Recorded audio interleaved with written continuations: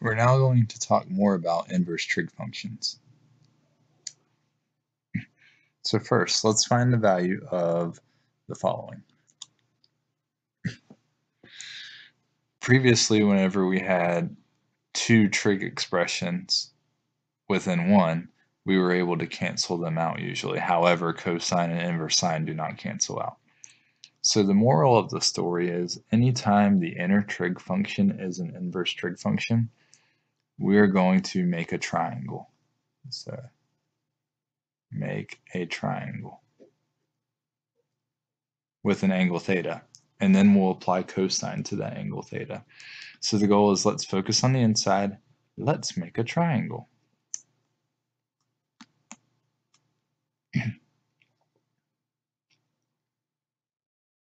so when I make my triangle, I have the angle theta and it's important to note that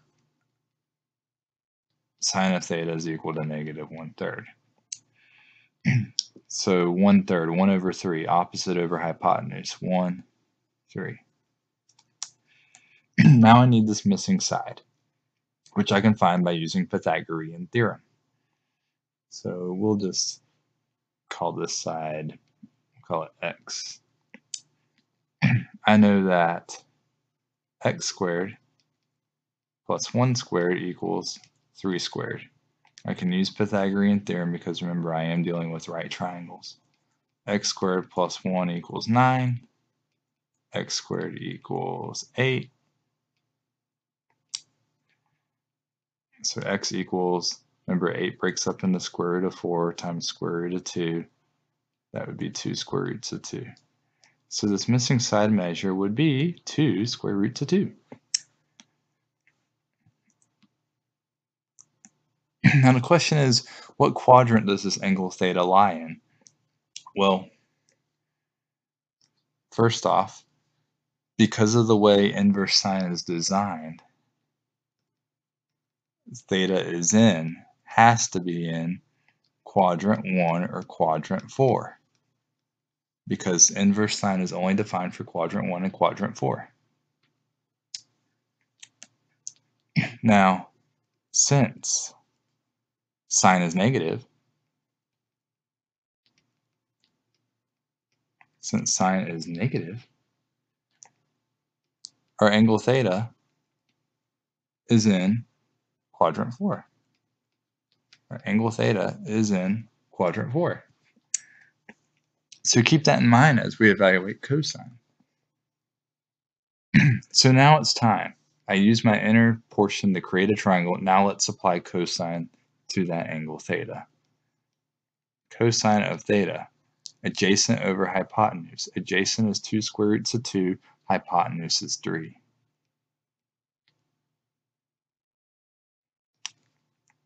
Now is this positive or negative? Remember, theta is in quadrant 4. Cosine is positive in quadrant 4. So answer is positive since cosine is positive in quadrant 4. So 2 square roots of 2 over 3 is the answer.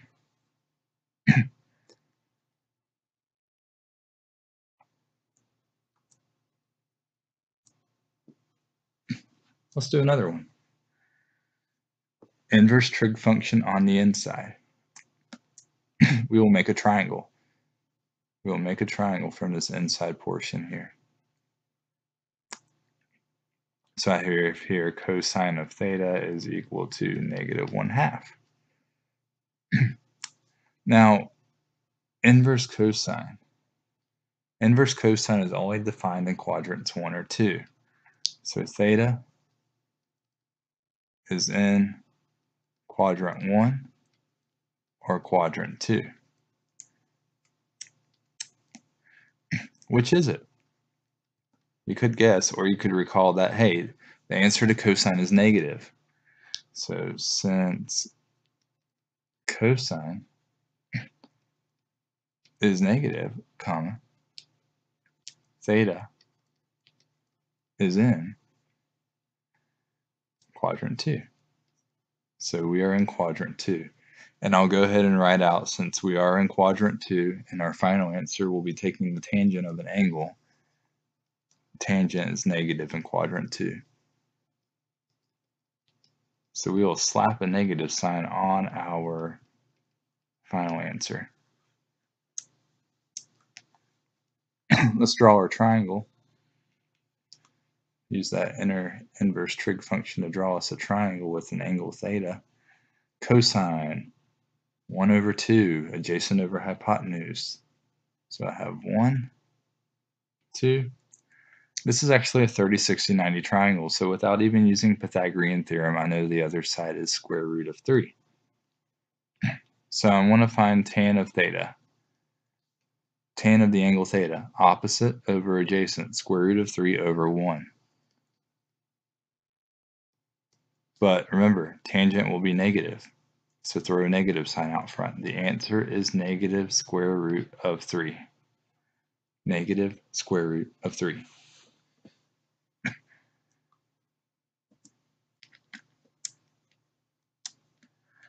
How about another one? Except this time the inverse trig function's on the outside and the regular function's on the inside. And no, we can't cancel them out. There are two different types of trig functions here. So the best thing to do here is let's focus on the inside here. Let's evaluate.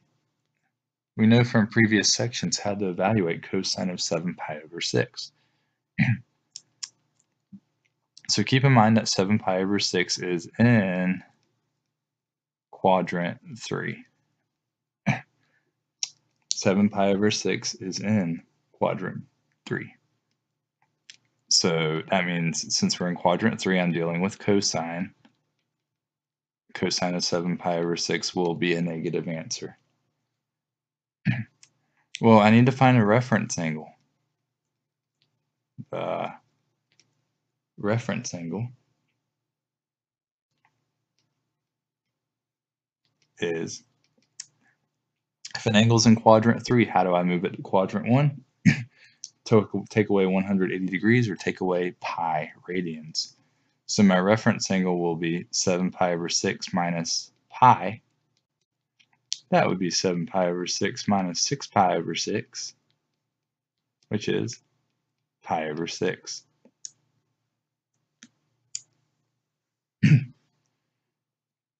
so it turns out my expression is actually sine inverse of cosine of pi over 6. We'll be throwing a negative sign there shortly. What is cosine of pi over 6? Cosine of pi over 6. We have this 30 degree angle here. Across from it is 1. Bottom side is square root of 3. Hypotenuse would have to be 2. Cosine of pi over 6. Adjacent over hypotenuse square root of 3 over 2.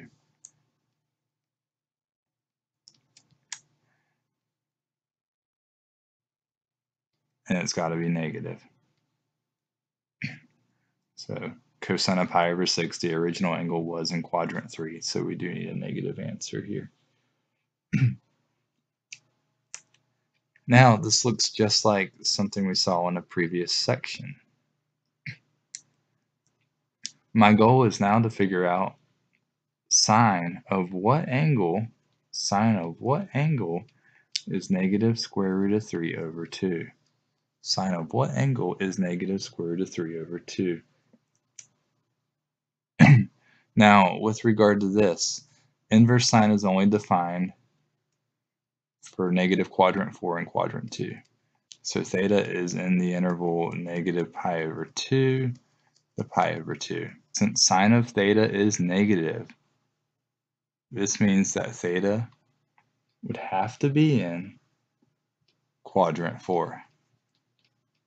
We want negative quadrant 4 because that's where inverse sine is defined. so what are we going to do about this?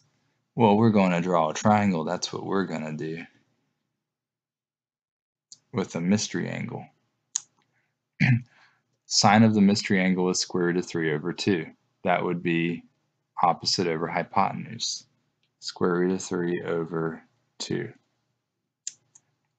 So what is this question mark angle? What is this reference angle? Who is always across from square root of 3?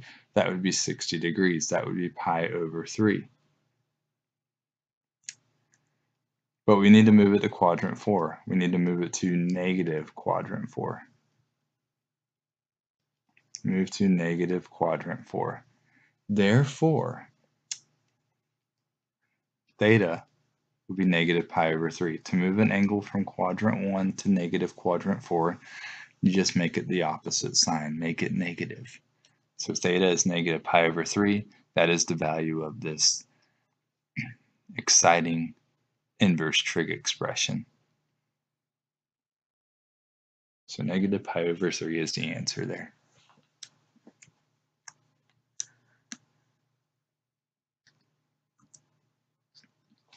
Well, now we're going to focus on inverse cosecant, inverse secant, and inverse cotangent. Inverse cosecant can only give you angles that are in negative pi over 2 and pi over 2 in that interval. Inverse secant can give you angles in quadrants 1 or 2, that's 0 to pi. And inverse cotangent can only give you angles in quadrants 1 or 2, 0 to pi. that being said, Let's find cotangent inverse of square root of 3. what that means is cotangent of what angle is square root of 3 over 1. All right, inverse cotangent is defined in quadrants 1 or 2. Since cotangent is positive,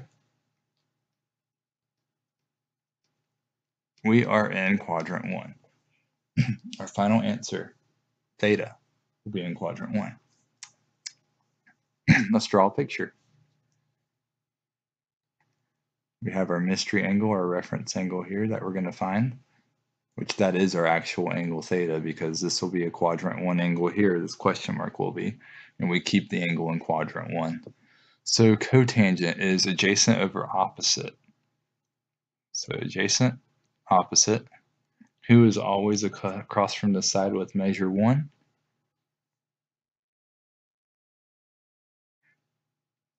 The angle is 30 degrees, pi over 6. And we want to keep that angle in 1. That's where we want our answer to be. So theta is pi over 6. The answer to my inverse trig expression would be pi over 6.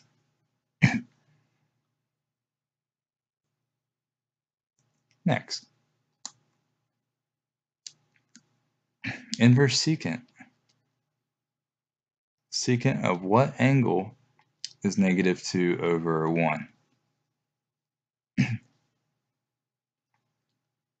All right, so secant inverse is defined where? What, what angle measures? It's defined in quadrants 1 or 2. But you'll notice, since secant is negative, our theta, our angle, our final answer is and 2. we'll be in quadrant 2. So we draw our picture with our mystery angle, which once we find our mystery angle, we will move it to quadrant 2, and that'll be the answer. Secant is the reciprocal of cosine. Cosine is adjacent over hypotenuse. Secant is hypotenuse over adjacent. So 2, 1, which means our other side would have to be square root of 3 who is always across from the square root of 3? Who is always across from the square root of 3? What is my reference angle? What is my mystery angle? Well, that would be 60 degrees. That would be pi over 3. but we have to move this angle to quadrant 2. So move to quadrant 2. How do we do that? Well, our final answer, our quadrant 2 angle, will be pi minus the reference angle. minus the mystery angle that we found. This would be 3 pi over 3 minus pi over 3. Let's give you an answer of 2 pi over 3. Theta is 2 pi over 3. The answer to our inverse trig expression is 2 pi over 3.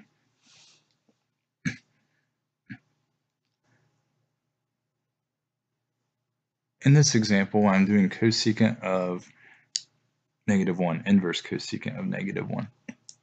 The issue is cosecant has the hypotenuse in it, and if I was to write 1 over 1, you can't have a hypotenuse the same length as a leg.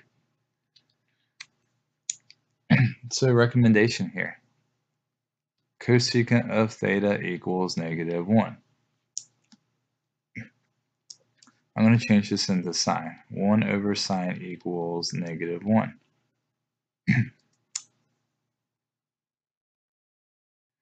this would mean that after rearranging, 1 equals negative sine theta, which means sine theta equals negative 1.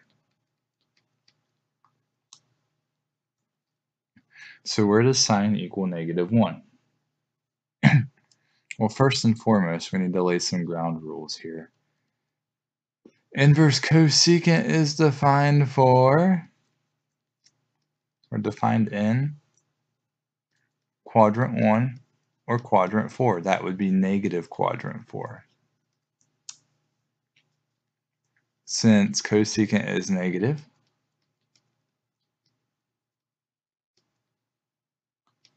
our theta, our answer, is in quadrant 4. Negative quadrant 4. All right, so when I draw my unit circle,